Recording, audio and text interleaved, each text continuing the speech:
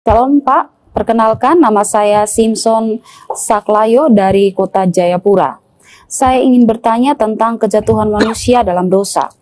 Tuhan Allah menetapkan manusia di Taman Eden dengan perintah untuk mengusahakan taman dan dengan larangan tidak memakan buah dari pohon pengetahuan tentang yang baik dan yang jahat karena manusia akan mati ketika memakannya.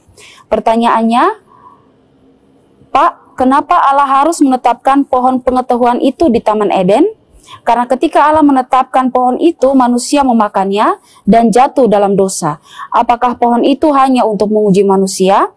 Pertanyaan berikut, uh, kalau memang Allah menetapkan pohon itu untuk menguji manusia, kenapa ujiannya harus sebahaya itu yang membuat banyak manusia binasa? Pertanyaan terakhir, kenapa Allah menciptakan manusia kalau pada akhirnya banyak manusia yang akan binasa di api neraka? Terima kasih Pak. Ini bahwa Tuhan menempatkan pohon itu di tengah taman, lalu melarang makan, terus berikan konsekuensi kalau makan mati. Ya memang itu sebenarnya untuk menguji manusia karena Tuhan itu menginginkan sebuah ketaatan yang bersifat atau yang berkualitas ya. Tuhan tidak mau ketaatan yang distel atau yang dirancangkan langsung jadi mau tidak mau atau apa pun terjadi dia pasti taat karena sudah distel atau dicegah untuk tidak taat. Tidak. Tuhan mau ketaatan itu lahir dari pilihan moral manusia atas dasar ketaatan kepada Allah. Saya sering mengilustrasikannya begini, bahwa kalau ada si laki punya pacar lah, ya. Terus si laki ini sempat tenggelam di tengah laut, lalu kesasar di satu pulau. Lalu di pulau itu tidak ada manusia satupun, hanya ada monyet-monyet dan selama satu tahun dia hidup di pulau itu bersama dengan monyet-monyet dan akhirnya setelah satu tahun dia diselamatkan. Lalu dia ketemu pacarnya dan dia bilang sama pacarnya bahwa pacarku selama satu tahun ini aku tetap setia hatiku hanya untukmu tidak pernah beralih kepada yang lain. Benar? Benar. Tapi apakah berkualitas? Tidak. Kenapa? Karena yang ada hanya monyet. Ya. Yang ada hanya monyet. Tapi kalau misalnya kasusnya bahwa oh dia pergi bekerja di kota, ceweknya ini ada di kampung, dia pergi bekerja di kota, ketemu begitu banyak perempuan cantik, begitu banyak perempuan yang menarik, tapi dia bilang selama satu tahun ini saya tetap mencintai kamu, hatiku tetap padamu. Nah itu baru ketaatan atau cinta yang berkualitas. Nah Tuhan mau begitu. Ketaatan itu adalah ketaatan yang berkualitas, yang lahir dari sebuah pilihan moral antara taat kepada Allah atau tidak taat kepada Allah. Jadi memang penempatan pohon itu memang dengan tujuan untuk menguji manusia. Terus kalau ditanya, ya, hmm. kenapa ujian kok harus sebahaya, sebahaya itu? Ini. Ya. Terus kalau ditanya, nanti kalau Tuhan tahu kan banyak orang masuk neraka, kenapa masih cipta manusia? Jawaban saya adalah saya tidak tahu. Ya, kenapa? Karena itu tidak pernah dinyatakan dalam kitab suci.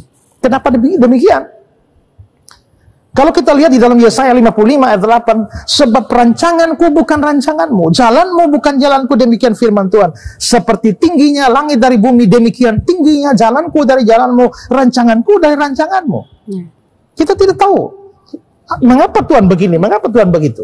Ayub 36 ayat 26, sesungguhnya Allah itu besar, tidak tercapai oleh pengetahuan kita tidak tercapai oleh pengetahuan kita. Makanya dalam ulangan 29 ayat 29 bilang, hal-hal yang tersembunyi ialah bagi Tuhan. Tapi hal-hal yang dinyatakan ialah bagi kita. Ya.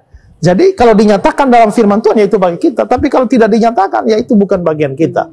Jadi kalau ditanya, kenapa ya kok Tuhan mau kasih ujian saja kok sebahaya itu? Kenapa tahu manusia masuk neraka masih cinta? Saya tidak tahu.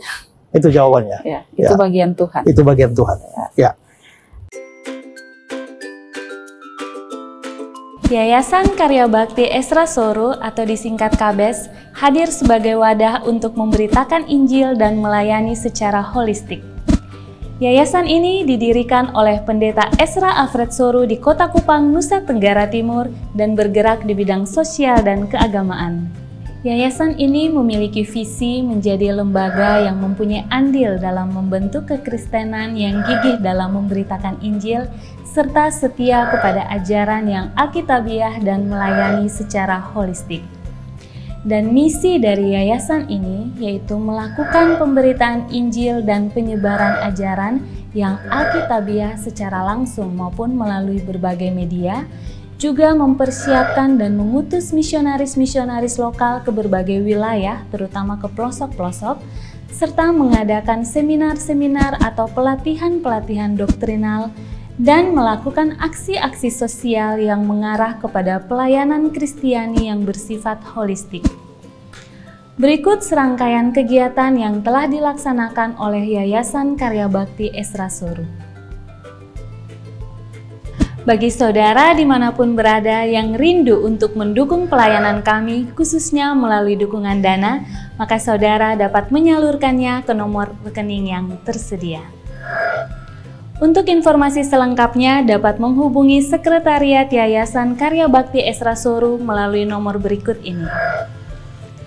Mari beritakan Injil dan melayani sesama dengan kasih bersama Yayasan Karya Bakti Esra Soru. Tuhan Yesus memberkati.